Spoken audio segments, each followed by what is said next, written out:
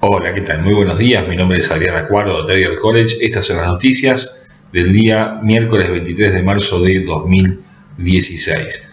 Venimos de un martes eh, muy complejo en los mercados después de los atentados en Bruselas que generaron un impacto muy fuerte en los mercados y en las divisas puntualmente bajas de un tenor importante en el euro, en la libra esterlina y en el yen.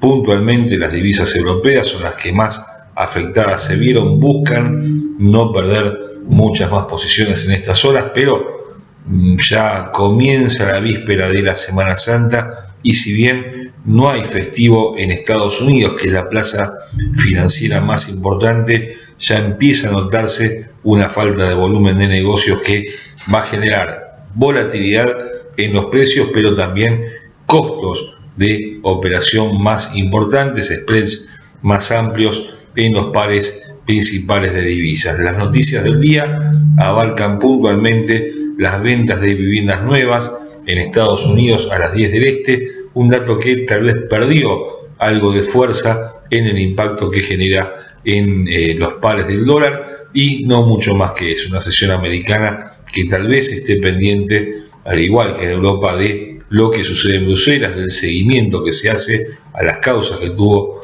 este atentado. Habitualmente, y lo dijimos también ayer, los precios suelen recuperarse prontamente de este tipo de movimientos, pero no ha sido el caso del día martes. Veremos si tanto la libra como el euro logran ganar posiciones como habían, lo habían hecho en las semanas anteriores y terminar el euro por encima de 1.13 esta semana y la libra esterlina que tiene todavía un norte, tiene un techo en la zona de 1.4485, un gap que dejó en la sesión asiática del lunes.